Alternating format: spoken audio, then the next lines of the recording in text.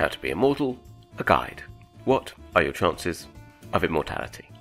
Well, we've done the math, maths, if you actually bother to speak English properly, and the chances are higher than you think. Much higher.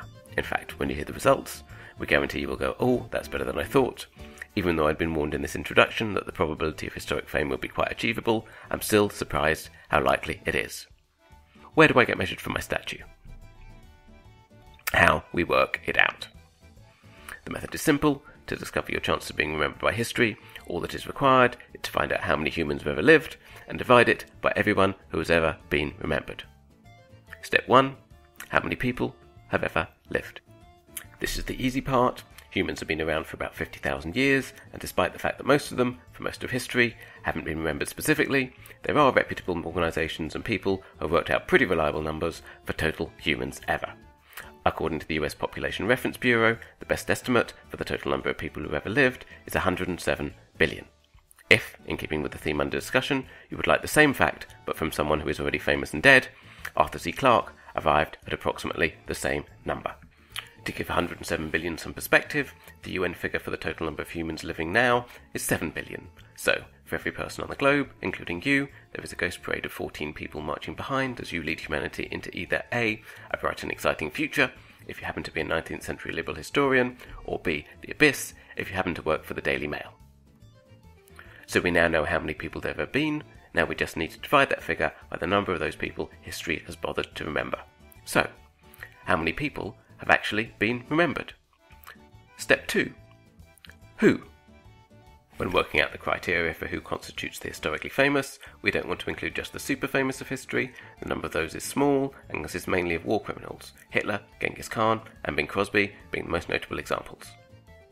So, if we widen the search beyond just pure evil and include everyone historians regard as worth mentioning, the numbers, as you would expect, go up significantly. As I am English, I will use the UK as the example. Oxford University Press produces the Oxford Dictionary of National Biography, and the total number of entries is 58,664. So that's 58,664 individuals who at least some other people in the UK have bothered to remember. Everyone has a fair chance of an invite to the fame party. I say everyone, I mean by that everyone, as long as the word everyone excludes pretty much all women. If you're a woman, then historically your chances of immortality diminish significantly. According to the dictionary, out of 58,664 entries, only 6,359 are women. Why so few women?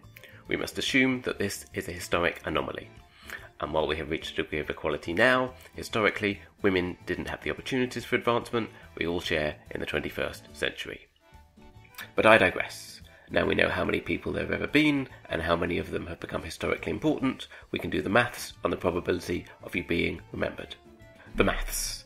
We've established that for every person alive now, there are 14 people that have existed historically. If we use the UK as the example, if the current population of the UK is 62,641,000, World Bank Stats 2011, then we might assume that current population represents 1 15th of the total number of people who have ever lived in the UK so we might assume that the total number of people within the UK who have lived is 939,615,000 or nearly 1 billion. If we take nearly 1 billion and divide it by the number of historic people, 58,664, it will give us the probable chance of being remembered. And that number is 16,016 so you have approximately a 1 in 16,000 chance of immortality. That is the equivalent of being the most famous person in a small North Wales seaside resort, which everyone should find a comfortable goal. Women, please note, your chance is a more daunting 1 in 147,761, which is the equivalent of being the most famous person in Oxford. Considering Oxford lays claim to 66 Nobel Prizes, 66 more than North Wales seaside town, this might be more of a stretch. The conclusion? If you're seeking immortality, move to Bangor.